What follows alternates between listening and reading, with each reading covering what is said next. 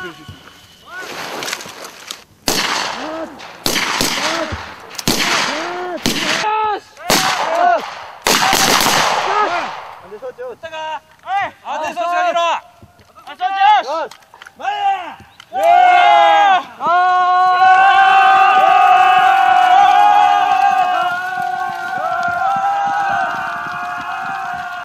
うですね、まあ、初めの入りたての頃は、えやっぱり慣れない環境の中で厳しい訓練などもあり、いろいろ辛いこともありましたが、えこうしてもう60人近くいる同期と一緒に切磋琢磨し合って成長していけたので、とても楽しい3ヶ月間となっています。えー自分は、えー共同生活というものをこれまでしてきたことが一度もありませんでした、えー朝起きておはようから夜寝るお休みまでずっと一緒にいますそんな環境の中でお互い思うこともあってぶつかり合ったことも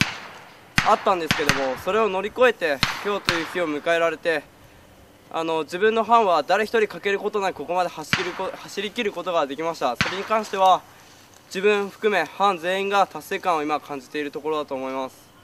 なんかあの訓練の最中にはい。うまくいかなかったこととかありますか？つまずいちゃったとか、そうですね。えっと自分の場合結構体も重いっていうのもあってあの途中の移動間の、まあ、歩幅前進とかが、まあ、あまり早く進めなかったっていうのがちょっとありますね。自分としての短所としては、はい、厳しかったことと逆に楽しかったことあったら教えてくださまああまり大まかな内容とかはお伝えはできないんですけどまあ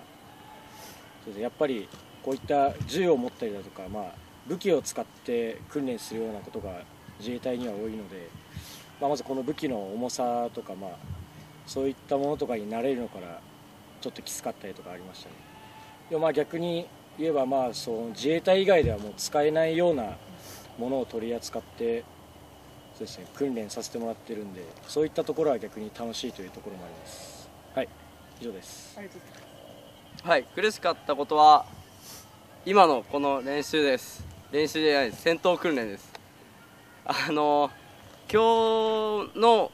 お見せする形にするまで何日も何日も自分たちは練習してきてます。授業の皆様に指導をいただきながら歩幅前進を何百メートルと、えーやって今日ここに至ってます。それがとても辛かったです。で、えー楽しかったこと。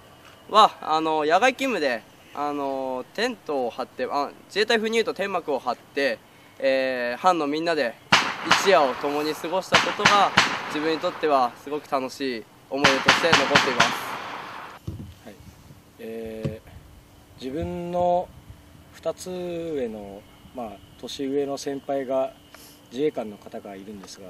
えーまあ、その人が憧れなんですけど、まあ、やっぱり自衛官らしいハキハキとした態度。で、まあ、あとやっぱりそうです、ね、作戦に対する意識とか、まあ、任務に対する使命感とかそういったものがすごい強い方なんで、えーそのようなそうですね、使命感または責任感の強くまあ、任務を達成できるそういった自衛官になりたいと思ってます。はい、えー自分は、えー自分の班長班付き内藤班長尾上班付きはとても優秀な方々で、えー、と今後目標にしていきたいと思っているお二人です。そのようになっていきたいと思います。それと自分が自衛官になりたいと思ったきっかけは国際貢献をしたいというところから始まっているので今後 PKO 活動、まあ、今帰ってきてしまったんですけども次行く時必ず自分も行きたいとそう思っています。以上です。えー自衛官候補生の教育を担任をしております教育隊長の畑さんです。よろしくお願いします、えー約10週間の教育をやりました、えー入隊したのは4月まだ肌寒い、えー4月の当初に、えー入隊をしまして、えーその時には彼ら、えーまだもう少し多かったんですけども途中で志半ばで辞めた人もいるんですが、えーまあ、部活動で鍛えたこう筋肉さっきの山本君みたいですね、えーしっかりした体で来てるのも言えば。もう、えーいや家の中に閉じこもってたんだろうなっていうようなこうか細い、えー感じの子までいろいろいました。はっきり言ってこれ半分ぐらいは持たないんじゃないかなと。一見見たら思うような隊員が今見てもらった通り、えー大きな声を出して元気よく、えー訓練をやってる姿を見てあ10週間やった甲斐があったのかなというふうに感じました。まあこの10週間をやって、えーこれで立派な自衛官というわけではありませんが本当にたった10週間の間で自衛隊の本当に一番最低限のところをお教育をしてきましたでこれからあそれぞれ部隊に行って専門的なことをおまた勉強をしながら、